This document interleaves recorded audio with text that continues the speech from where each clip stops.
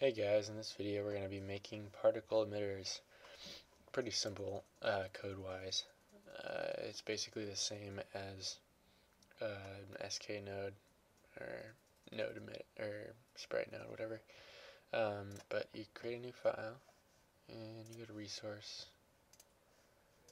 sprite kit particle file, uh, and then select the type of spark you or the type of emitter you want, and we'll go with rain.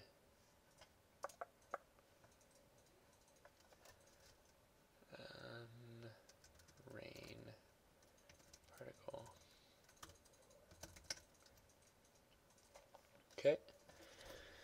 Um, and it looks kind of like rain, not really that much, but whatever. We're just doing it to figure it out. Um, so you can change all these things, like lifetime, which affects how how long they last after they've been created. You can change the number of particles. You can change the angle so that it's going up. I like I like that. I like up. Um, and then you can like change how random it is.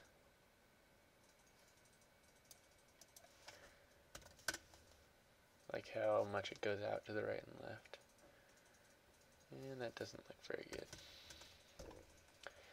And you can change the X range of speed and that affects how far they go. Do you like 50, won't go nearly as high. See they go up a little bit, but not really. And then that's how fast they fall downward. And yeah, that's pretty. You can make them bigger with scale or smaller. You can change the range of it like randomly picks a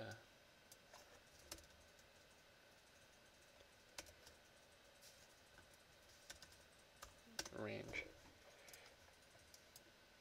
It'll generate a random number between 1.62 and uh, whatever 1.1 minus 0.62 is, 1.38. Yeah. Um, that's about it. And then here's the image that it uses, and it just, it's just a white image if you can see that. It's a white brush image. It just uses that and like changes the color basically. You can change the color here. Kind of cool. And then you can do all that from the code. Okay, so to do this we, it's kind of weird. You have to make a string that is for the path of the particle. Um, it's an NS bundle, main bundle.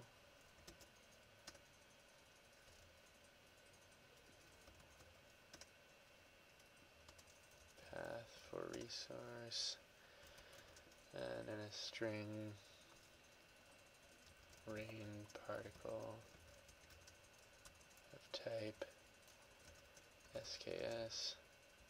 Basically this creates the, it converts the resource file into a string. It converts the, the sprite kit emitter, whatever file, into a string. And now we can create an SK emitter node. NS keyed unarchiver. Good luck remembering this. Uh, unarchive object with file my particle path. Um, what's the problem here? Oh, sorry. Main bundle, or no, path.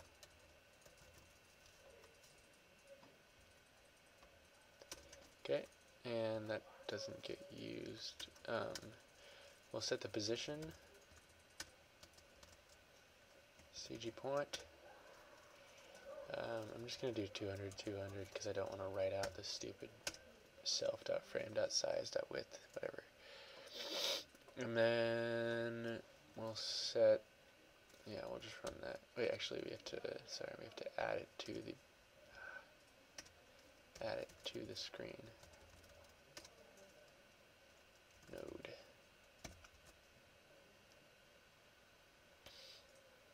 Cool. Um, you can change node dot. Let's see, node dot um, particle birth rate. All the properties of a emitter node begin with particle. If you're trying to look them up here, you can type particle and then see the entire list of them. Um, but we're doing birth rate. And then we can say 10.